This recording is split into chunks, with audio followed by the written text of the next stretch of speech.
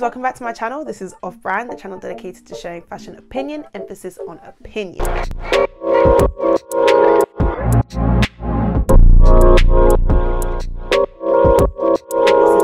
opinion. Hey guys, welcome back to this week's Black Friday, this Black American History Month. And this week we're talking about Christopher John Rogers. But before we get started, make sure you are subscribed, make sure you have those notifications on because you do not want to miss any of this great fashion content. Christopher John Rogers was born and raised in Baton Rouge. His love for fashion first started when he began watching Project Runway. Afterwards, he found himself searching John Galliano videos on YouTube and creating comic books with his friends, which sparked his interest in the idea of costumes and how they affect characters. His passion was also largely encouraged by his parents, who would find him extracurricular teaching lessons in order to further his artistic side, where he actually first learned how to sew. He was also largely influenced by his grandmother and the parishioners at the church his grandmother attended. He saw them create an elevated version of themselves each and every Sunday. After studying at Savannah College of Art, he moved to NYC where he won the Vogue Fashion Fund and he showed at New York Fashion Week. This led to the creation and growth of his label, which has since been worn by Rihanna, Beyonce, Michelle Obama, Tracee Ellis Ross, and Kamala Harris. Now, Rogers has stated that he designs for the woman who creates their own world.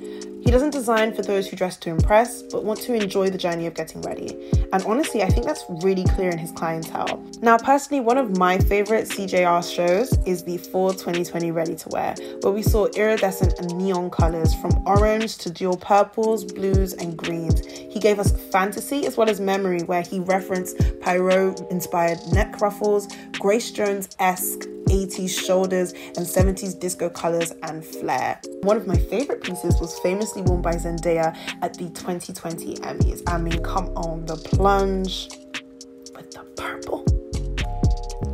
Stunning. Overall, Christopher Rogers is colorful, bold, and fun. I really enjoy his use of color, shapes, silhouette, and honestly, I love how he caters to black women.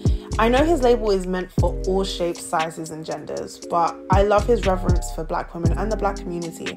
And it's nice to see black young labels that are growing still show that reverence and love to their community. I hope you guys enjoyed this week's episode of Black Friday. If you did, make sure you press that like button below and comment below who would you like to see me talk about next? Who haven't I covered?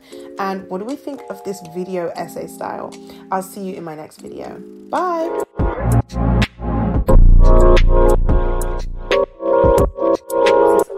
Okay.